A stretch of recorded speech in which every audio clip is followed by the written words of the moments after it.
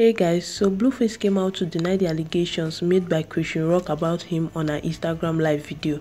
For those of you who are not aware, Chrisean Rock went on a live video on Instagram four days after Blue proposed to Jaidyn to say that Blue and her are still having rust and they still link up the day before she came on live. After she made this, people started to throw shade at her and Blueface. Then immediately, Blue made a video to debunk the allegations. Let's have a look. Y'all know I'm a married man. Stop playing. Ever since I got engaged, everybody trying to give me the skins. But where was you? Where was you when I had my dick in my hand without a plan? No booty cheeks, no bunions. Amen.